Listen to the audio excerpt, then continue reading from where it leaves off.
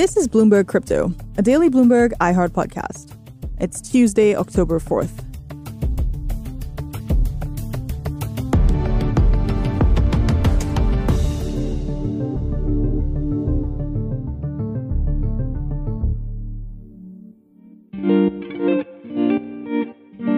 I'm Anna Irrera, senior crypto editor for Bloomberg News, in today for Stacy-Marie. For many of us, the pandemic has meant getting to know what it's like to work remotely, and in most cases, from home. But in crypto, remote working had already been the norm for some time, with many workers roaming the world all year round and logging in from dreamy locations like the sandy beaches of the Caribbean or the palm lined promenades of Miami Beach. When crypto prices were high, these roving crypto workers enjoyed the benefits of being digital nomads moving from country to country in an attempt to leave behind the stress, expense, and bustle that's often associated with large financial centers. But now that the crypto market isn't quite as sunny, many of these nomads have started trickling back to the financial hubs of the world. Today, I'm joined by Bloomberg reporter Taz Akhtar. There's also like communities that have been built all over, like, for example, Miami, Estonia, Portugal. And Panther Protocol CEO Oliver Gale, nothing will substitute for the human experience. So people need to come together. To hear more about the crypto nomad lifestyle and why, for the time being, he's trying to give it up.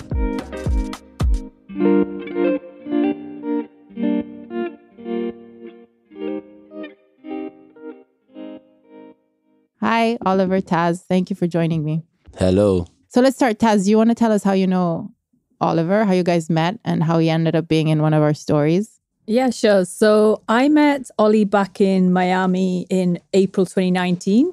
So we met at a crypto dinner hosted by the Cardano founder Charles Hoskinson. Um, back then, we were actually in a bear market as well, right? Yeah. Well, I don't know what crypto was trading at, but it was like well into a bear market, like we are now.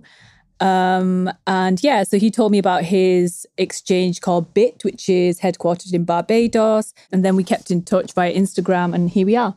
Yeah, it was pretty. I guess it was pretty organic. But I think during that dinner, we mostly talked about travel, you know, chasing sunsets. And Ollie was showing me pictures of like Barbados and um, his lifestyle on the road. I was talking about Ibiza quite a bit. So we both kind of had a similar lifestyle, right?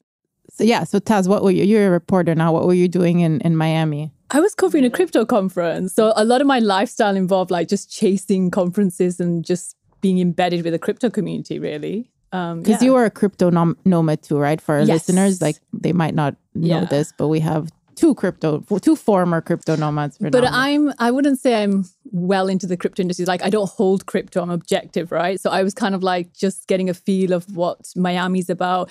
That's where a lot happens. And actually, um, Suarez was there as well, wasn't he? The Miami um, mayor. Mayor, sorry, the Miami uh, mayor. So he was he did a, a, an opening note back in 2019. Yeah you were i mean you were sitting at the right table yeah. you know as a crypto journalist. Yeah. Because you know when charles walks the ground shakes a little bit. Hmm. all right. So ollie tell us about yourself like where you're from like and how and very how you ended up here in london again right? Because from miami to where you were before like. Yeah. Well some people say my accent is international and or is it irish i'm definitely not from ireland i'm from barbados and uh I was born in England, but grew up in Barbados from an infant onwards.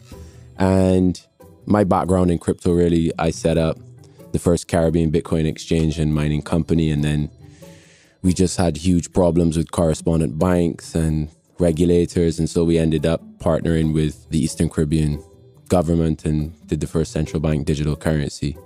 And so that was early days, 2013 to 2018. I was CFO and president and co founder at that company. And then I left and set up a venture studio and began incubating protocols. I'm CEO of one called Panther Protocol now, which is working to make everyone free by restoring privacy and rights to sovereignty.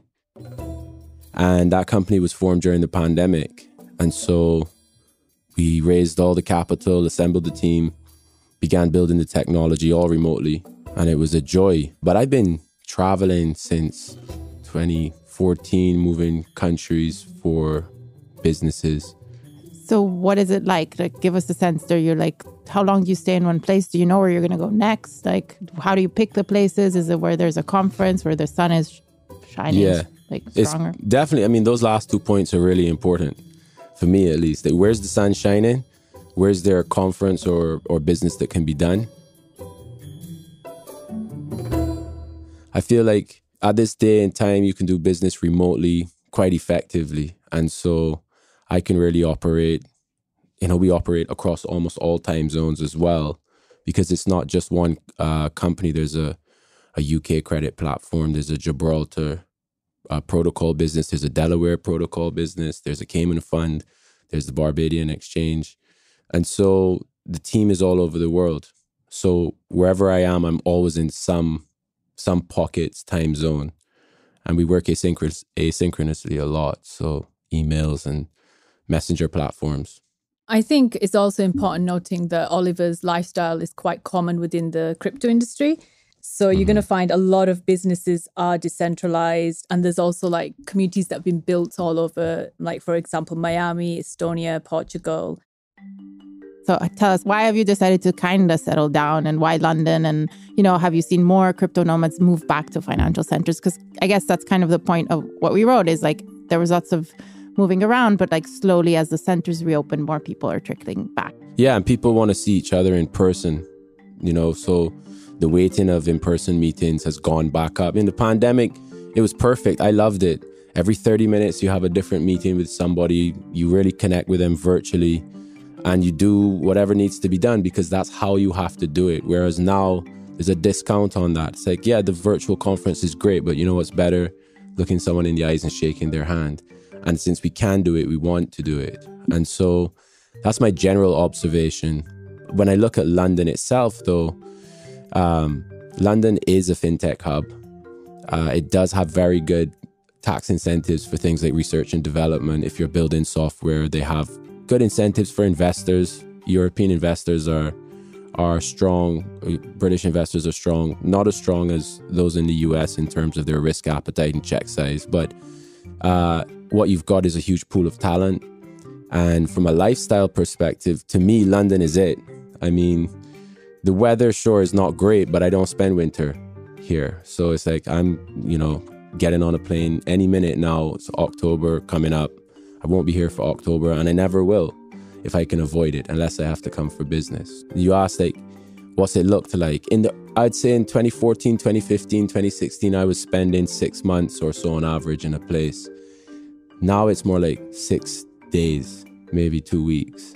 And then I go wherever else. A lot of the time it's just synchronicity. You meet someone or see someone and you do business and they're like, "Hey, what are you doing next week? You should come so and so and speak or or have a meeting or hang out." And so you do it. So how how do you do that? I mean, I guess everybody's situation is different, but it seems quite expensive to move from one place to another because someone just invites you to a meeting or a conference in like Seoul. So how how has that like the crypto winter affected movement? You think for you and for the community at large? Are you seeing more people saying I have to like tone it down?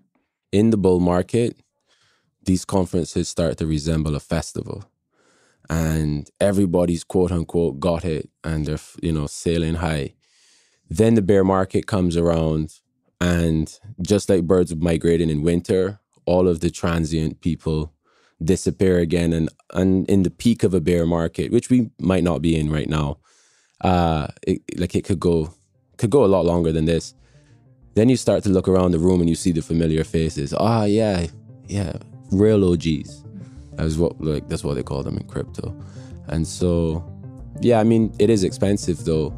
However, I've been in crypto a long time, so like there's multiple ways to look at it. One is I'm enjoying my life. The other is the impact that I have where I go exceeds the cost of what I'm doing. How much, you know, staying in a hotel or wherever.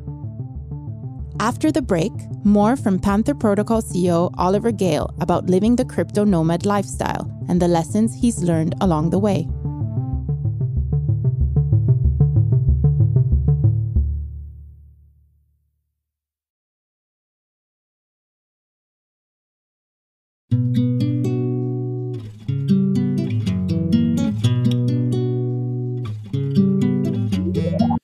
My life I always been about my growth. In case you didn't know, Oliver is also a singer songwriter.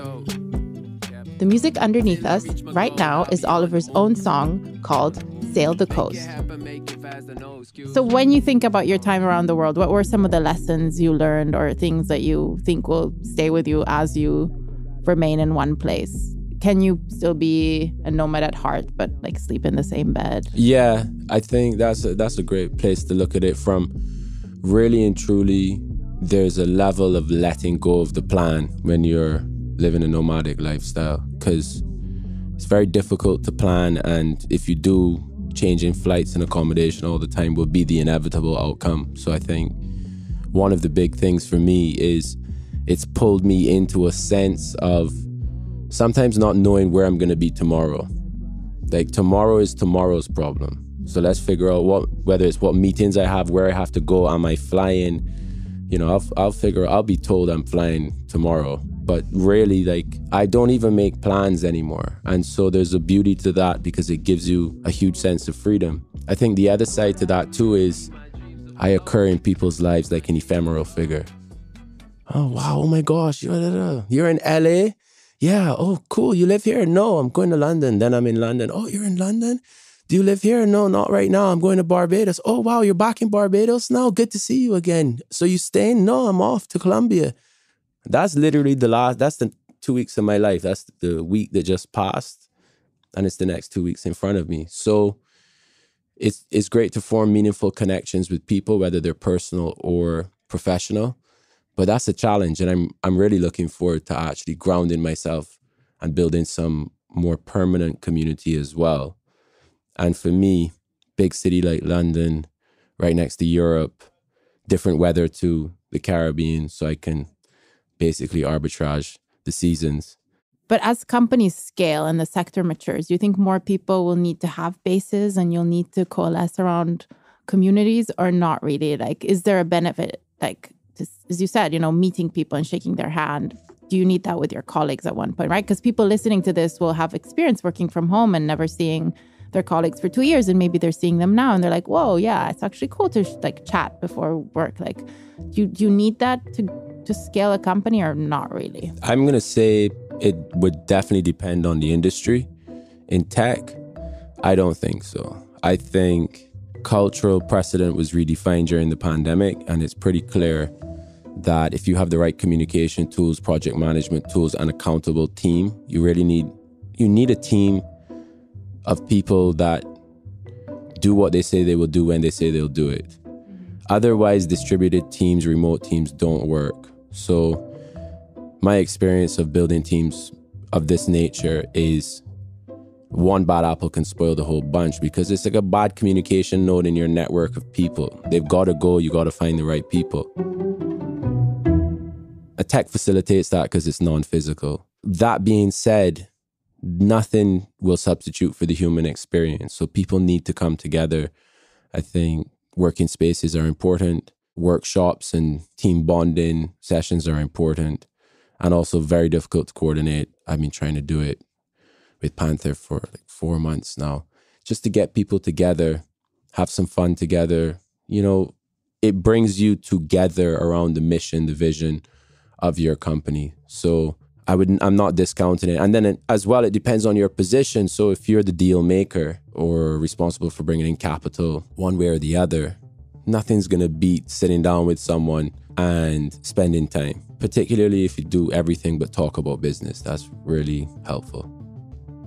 Thank you, Oliver. Thank you, Taz. You can find more of Taz Akhtar's reporting on the Bloomberg terminal on Bloomberg.com and on Twitter at Tanzeel underscore Akhtar. That's at T A N Z E E L underscore A K H T A R.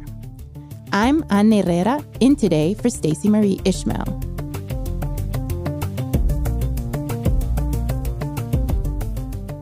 On the next episode of Bloomberg Crypto, Adam Neumann, known for founding WeWork and popularizing the idea of co working spaces, as well as for extravagant and eccentric behavior, is back. And this time, there's a crypto angle. This is Bloomberg Crypto, a daily podcast from Bloomberg and iHeartRadio. For more shows from iHeartRadio, visit the iHeartRadio app, Apple Podcasts, or wherever you get your podcasts.